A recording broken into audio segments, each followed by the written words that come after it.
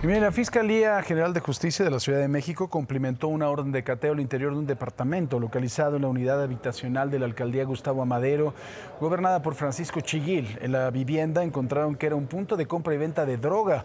El departamento quedó asegurado bajo resguardo de la policía en virtud de que continuarán las investigaciones por delitos en contra de la salud en su modalidad de narcomenudeo. Cabe resaltar que en la alcaldía gobernada por Chiguil el narcomenudeo es uno de los problemas principales que enfrentan las autoridades.